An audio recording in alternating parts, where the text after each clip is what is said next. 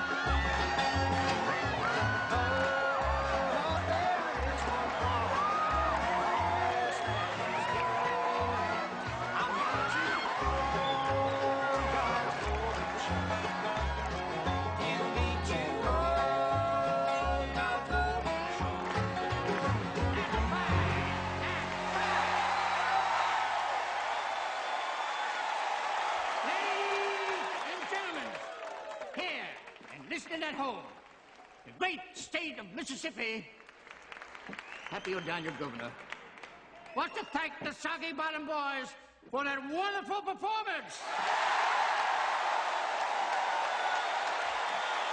Now, it looks like the only man in this great state who ain't a music lover is my esteemed opponent in the upcoming Homer Stokes. Yeah, well, there ain't no cup of taste.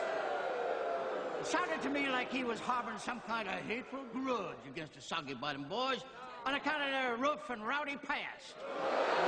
Looks like, looks like Homer Stokes is the kind of fellow wants to cast the first stone. Well, I'm with you folks. I'm a forgive and forget Christian. And I say, if their rambunctiousness and misdemeanoring is behind them, it is, ain't it, boys? Uh, yes, sir, it is. Well, then I say, by the power vested in me, these boys is hereby pardoned. And furthermore, in the second Pappy O'Daniel administration, these boys is going to be my brain trust. What's that mean, Everett? Darn, is it you, and me, and Tommy are going to be the power behind the throne, so to speak. Oh, okay.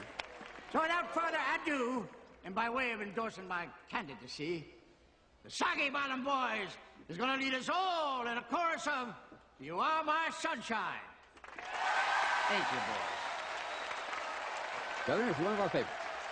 One. You're going to go far sun.